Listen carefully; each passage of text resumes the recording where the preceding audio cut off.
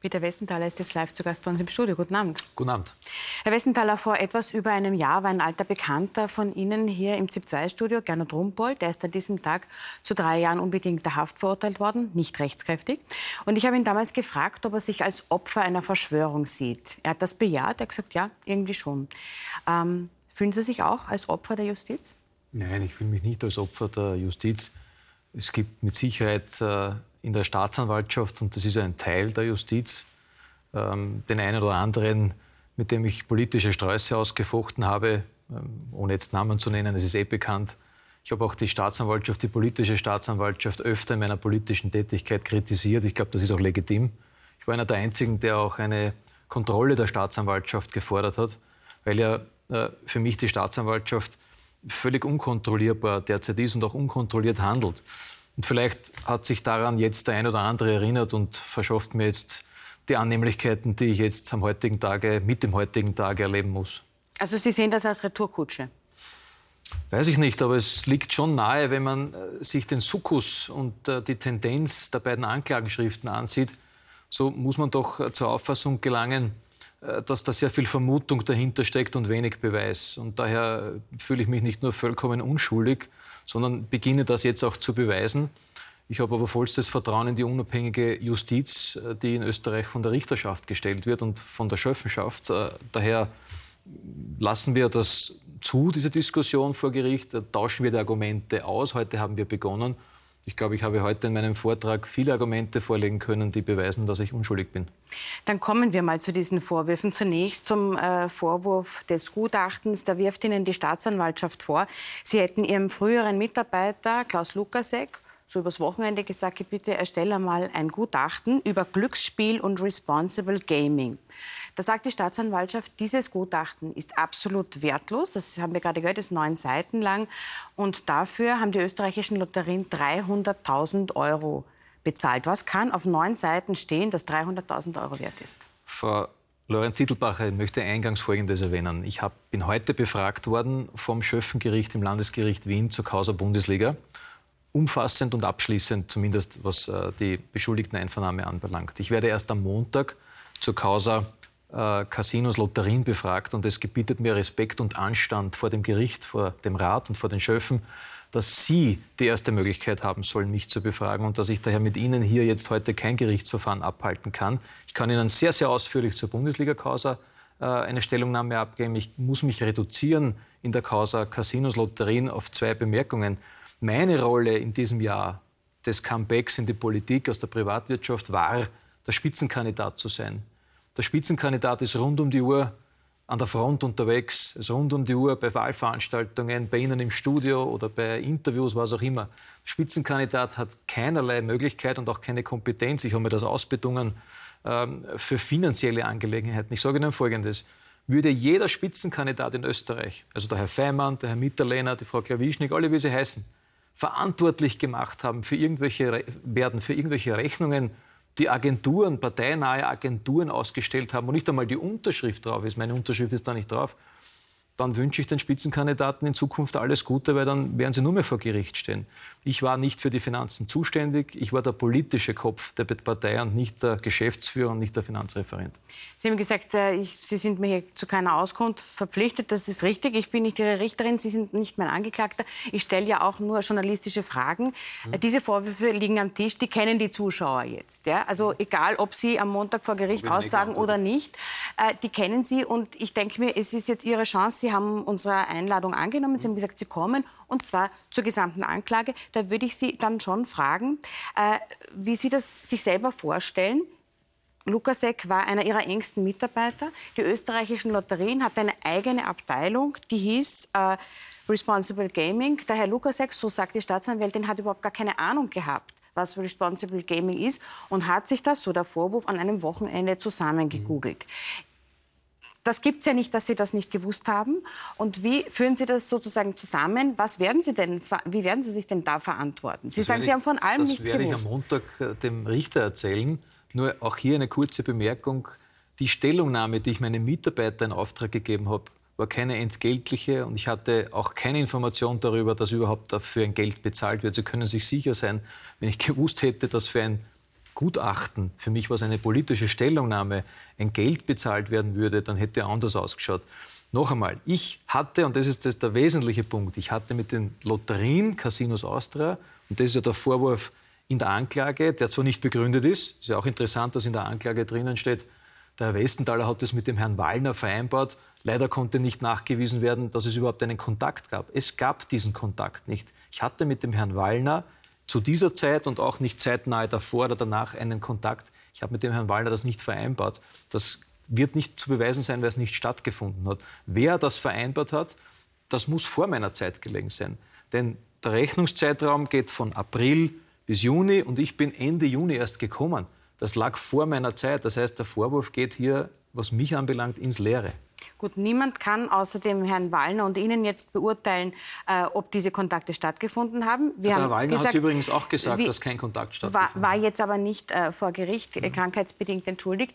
Äh, aber kann ich aus dem jetzt ableiten, dass Sie 300.000 Euro für ein neuen Seitenpapier für genauso absurd halten wie ich? Das ist völlig absurd. Äh, ich habe Ihnen das ja gerade gesagt. Natürlich ist es absurd, eine solche Summe für so ein Papier. Das bestreite ich ja gar nicht. Nur äh, man unterstellt mir, dass ich das gewusst habe. Und ich habe das nicht gewusst, weil ich nicht für Finanzen, nicht für Rechnungen zuständig bin. Dafür gibt es einen Geschäftsführer, dafür gibt es Finanzreferenten, alle möglichen Leute, aber nicht der Spitzenkandidat einer Partei, der äh, fast nie im Büro sich befindet, sondern bei Wahlveranstaltungen. Also was mir hier unterstellt wird, ist ein Detail, das mir nicht unterstellt werden kann und ich werde das am Montag entsprechend begründen. Ich habe da noch einige Sachen vor. Gut, der Richter und die Schöffen werden das dann entscheiden. So Kommen wir äh, zum zweiten Vorwurf, schwerer Betrug. Ähm, da sagt der Richter heute, er hat eine Zeugin zitiert, eine Buchhalterin, und die sagt, diese Fördermillion für die jungen österreichischen Fußballer, die sei nie im sogenannten Österreicher Topf gelandet. Die Vereine wären so wörtlich um Millionen, um eine Million betrogen worden. Wer, Herr Westenthaler, außer der Buchhalterin, soll das gewusst haben? Ich muss deshalb schmunzeln, weil ja diese Aussage heute mehrfach widerlegt worden ist bereits, nämlich durch den Ablauf Förderung und Schuldentilgung. Die Schuld der Bundesliga, die wir zu begleichen hatten und die mir ein Anliegen war, weil ich nicht in einer Vereinigung arbeiten möchte, die beim Finanzamt Schulden hat. Die Schuld wurde abbezahlt bis zum 31.05.2004. Der Fördervertrag mit Auszahlung der Förderung lief bis zum Jahresende 31.12.2004. Und der Großteil der Förderung, nämlich die Tranchen 2 und 3, sind an die Bundesliga überhaupt erst ausbezahlt worden ab 11. August und ab 2005. Das heißt, damit ist die Buchhalterin, ich weiß auch nicht, wie sie darauf kommt, widerlegt, weil sie mit Sicherheit nicht das Geld der Bundesliga zur Schuldentilgung verwenden konnte, weil es einfach noch nicht da war, sondern weil es erst am 11.8. eingelangt ist. Übrigens am ersten Tag meines Ausscheidens. Ich bin am 10.8.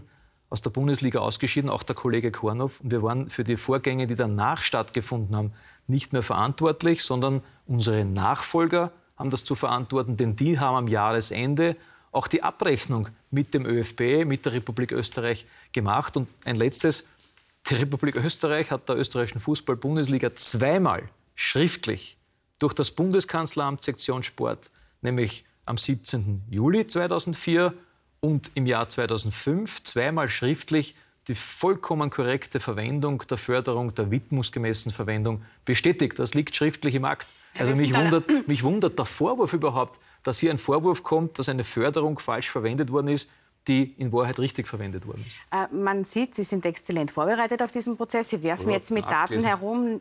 Ich nicht und die Zuschauerinnen und Zuschauer nicht können diese Daten natürlich jetzt nicht nachvollziehen. Was wir aber schon nachvollziehen können, ist, dass es eine Buchhalterin gibt, die sagt, ich sehe, was da reinkommt, ich sehe, was da rauskommt. Und das Geld, das äh, von österreichischen Abgeordneten und Abgeordneten äh, ver zur Verwendung gedacht war für die Förderung junger Sportler, mhm. ist dort nie angekommen. Doch.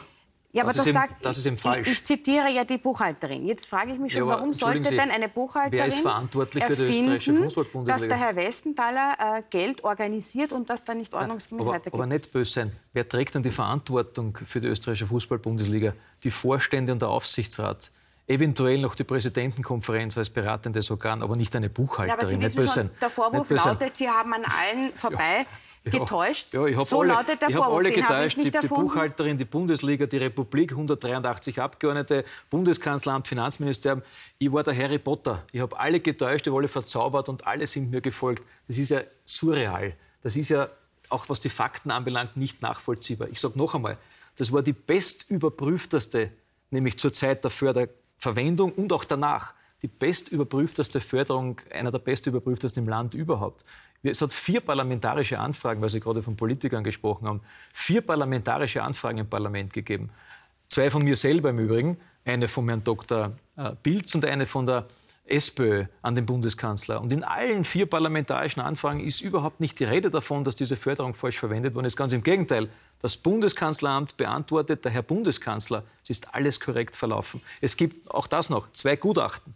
Ein wirtschaftliches von Professor Keppert, gerichtlich beide der Sachverständiger und Wirtschaftstreuhänder, der sagt, alles in Ordnung. Ein 20-seitiges Gutachten, der sagt, das ist völlig korrekt verwendet worden. Und ein, ein rechtliches Gutachten, auch von keinem Unbekannten, nämlich von Universitätsprofessor Alois Birkelbauer von Linz, der dort der, ja, der juristische Vorsitz ist und der das Parlament beraten hat, schon einige Male und auch so manches Ministerium, Menschenrechtsbeirat, der hat das juristisch geprüft, auch auf 20 Seiten, der sagt, es hat kein Betrug stattgefunden, nicht, nicht einmal annähernd. Aber und jetzt frage ich mich, was wird mir überhaupt erklären, vorgeworfen? Der Anwalt Dr. Kralik hat heute im Gericht gesagt, Geld hat kein Marschall. Ähm, das heißt für mich, man kann das nicht so genau nachvollziehen, wo Millionen hinfließen und wo eh. nicht. Oder was heißt das? Na, das Sie? ist ja auch richtig, wenn man das System der österreichischen Fußball-Bundesliga ja verstehen muss. Was ist denn die österreichische Fußball-Bundesliga? Die österreichische Fußball-Bundesliga ist das Konglomerat seiner 20 Vereine, nämlich der ersten und zweiten Spielklasse. Der Verein Bundesliga, dem ich vorstehen durfte, 18 Monate, der Verein lukriert Mittel, Gelder. Äh, Auf einem einzigen Bankkonto übrigens, ein Bank Austria Bankkonto. Also völlig einfach. Da kommen alle Sponsorgelder rein. T-Mobile, Fernsehgelder, Lotteriengelder, Förderungen kommen alles auf dieses Konto. Und die einzige Aufgabe neben dem Spielbetrieb äh, für den Verein Bundesliga ist, diese Gelder an die Clubs zu verteilen, äh, mit verschiedensten Schlüssel. Die Bundesliga selber hat ja kein Geld, sondern nur das, was sie für einen Betrieb verwendet. Okay. Sie haben hier äh, deutlich gemacht, was Sie schon im Gerichtssaal deutlich gemacht haben. Sie sind unschuldig. Sie werden das noch weiter vor Gericht ausführen und am Montag geht der Prozess weiter. Ich danke Ihnen fürs Kommen. Ich bedanke mich für die. Einladung. Dankeschön. Dankeschön.